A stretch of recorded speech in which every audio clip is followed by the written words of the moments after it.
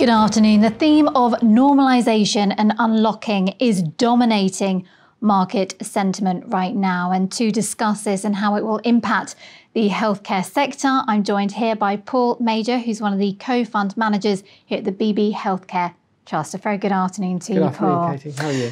I'm doing well, thank you very much. So, where do you sit on this sentiment there, and how does healthcare feature in all of this? Sure. I think we're, we're at a sort of interesting point of change, really. So, so everybody started to focus on reopening as a theme in about November, December time, when it was apparent that vaccines were the, the solution to uh, the, the, the, pandemic and our way back to some sort of normal. And the market started pricing in that recovery, and then inevitably.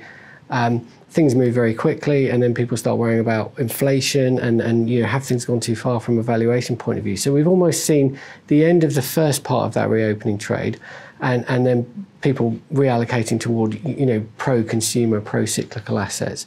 And, and during all of that, it's quite a tough place for the healthcare investor because healthcare is your classic defensive growth sector. So it's the bit you know the economy doesn't matter. And that's where people hid to a certain extent in the, in, in the midst of the pandemic.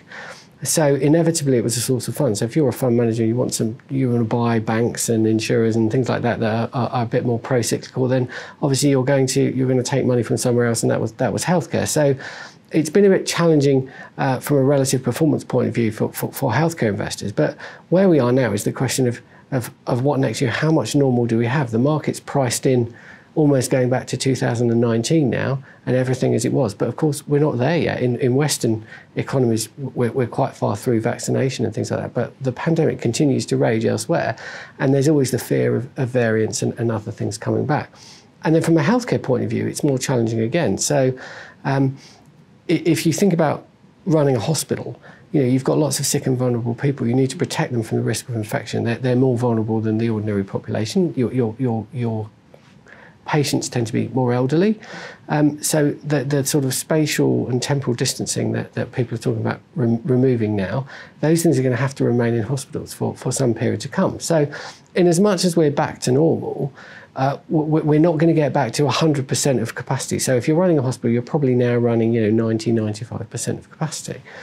The other interesting question there is, is um, you have these big waiting lists, and here in the UK, you know, we all know the NHS has hit a backlog of sort of five million people. You have to prioritise who you're going to, to treat, and obviously it's the people with the greatest needs. So it's your cancer patients, your cardiovascular patients. If you're waiting for a hip or a knee or whatever it might be, that may be very important to you, but it's not life threatening for the most part. So you're, you're going to have to be at the end of a very long queue. So when we think about the return to normal in healthcare, we have to be very sensitive to what we call acuity, so, so need, and, and making sure that we're exposed to the high need patients initially. And, and, we're not so exposed to the longer term stuff. The other thing that um, is not surprising when you hear it, but but wasn't necessarily expected, is that if you have those elderly people that have been shielding things and they do need a hip or a knee, now they've got some freedom back. The last thing they want to do is have an operation that means they've got to sit at home for six or eight weeks with their leg up and not be out there enjoying themselves or going on holiday, whatever it might be. So we're also seeing an element of people voluntarily saying, you know what, it's not my time yet. I'm, I'm happy to wait a little bit longer.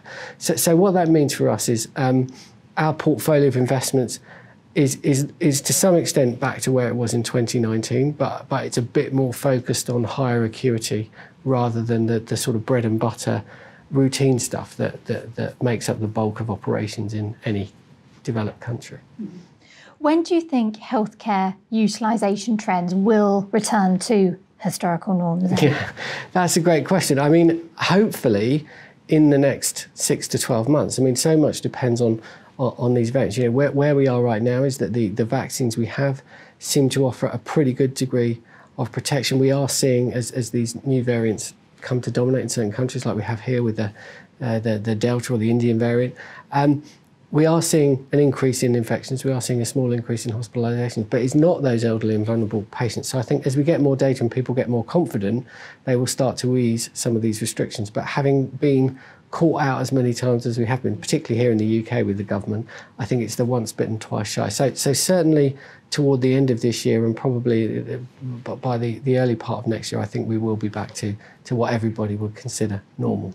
And what are the risks to your outlook when it comes to these subsequent COVID waves? Yeah. So I, I think for, for, for, um, for us, we, we see two particular risks. So the first is when the reopening uh, theme became prevalent, everybody, even within healthcare, they shifted to being less defensive. So, so in the middle of the pandemic, you obviously want to be focused on those services people have to have. So those essential medicines you have to take, you know, again, that very high acuity stuff. And then people sort of gamble on, on the normalization and the rate at which it's going to happen. So they start going into procedural things like hips and knees.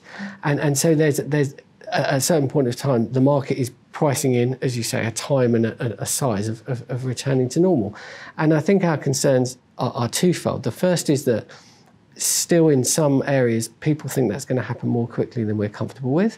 Um, and, and the other is that they're pricing in, you know, almost a return to the trend that, that we had before, as if the pandemic didn't happen, or this idea of a catch up. And when you think about a hospital, the idea of a catch up is, is very, very bizarre. There's a certain number of doctors, there's a certain number of nurses, there's a certain number of operating theatres. You can't increase more to more than 100% of capacity. So there's no way of ever actually catching up for the most part uh, where, where, we were. You can only do a certain number of procedures. So um, we have seen in some areas that that kind of um, irrational exuberance creeping into forecasts, and that worries us. So a bit of valuation and a bit of people being m- maybe a little over optimistic on, on, on how quickly volumes start to grow again.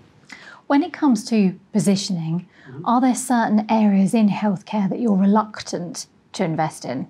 Yeah, so, so if you look at the, the healthcare sector from, from a, a sort of top down 30,000 foot view, and particularly if you look at valuation metrics, you know, now the market is largely um, normalized, if you like it looks very cheap. So the price of growth in healthcare in aggregate is, is not dissimilar to where, where it was beforehand. So we've not had a sort of bubble like you had in, in tech, for example, where, where valuations were uh, extremely high at certain points of time.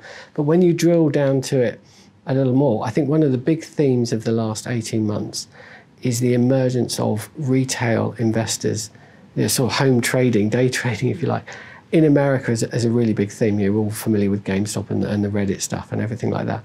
And, and what's happened there is that, that people have played very, very obvious themes. So, so that, that they look at things like say, well, you know, the treatment of type 1 or type 2 diabetes is, it, we all know that's a huge epidemic of disease. So they've piled into stocks focused on things like that, or they understand um, telemedicine. They've all suddenly seen this change where I used to see my family doctor face to face. Now all of a sudden I'm doing it uh, over the internet. Yeah. So I want to buy telemedicine stocks or things like that. So there are there are bubbles of value in, in the areas that seem really obvious utilization plays.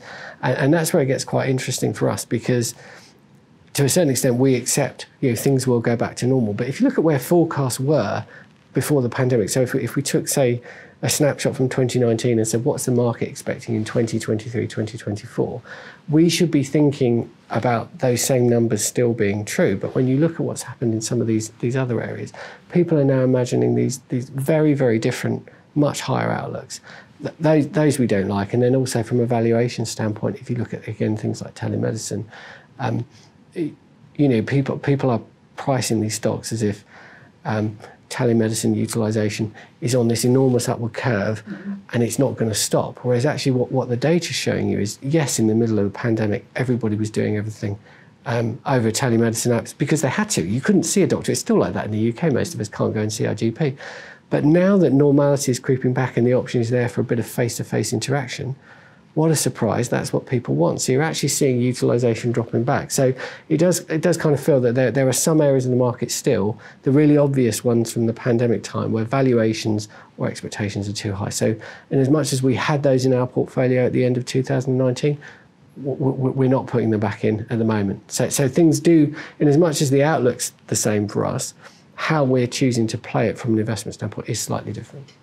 So, what are the main drivers of this reluctance of yours? Is it the downside to an over exuberant outlook, or is it valuation driven? Yeah, I think it's probably the former. I mean, there's a, there's a bit of both going on, but but um, you, you, know, markets go up and markets go down. But there are a few things that you quickly learn as an investor, and one is that when when people are cutting forecasts for companies, when expectations are, are, are declining rather than rising, it doesn't matter if it's a cheap stock or an expensive stock.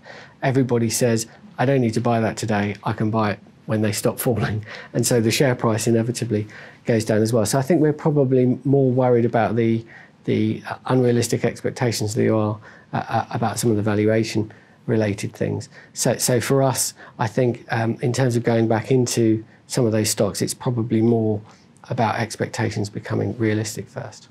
Paul Major, pleasure to speak to you today. Thank you very much indeed. One of the co fund managers here at the BB Healthcare Trust. Thank you.